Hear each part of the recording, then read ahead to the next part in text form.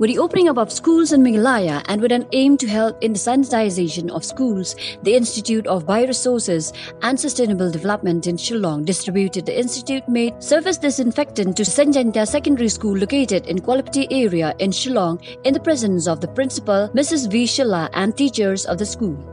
It is worth mentioning that this school caters to the economically weaker sections of the society through free education from nursery to class 7.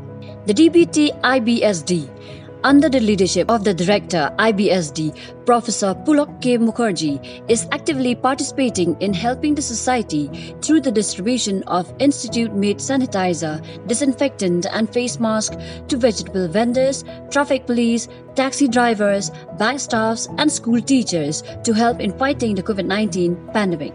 It may be mentioned, in different parts of Northeast India, IBSD centers are actively participating and serving the society through such outreach activities during the COVID 19 scenario.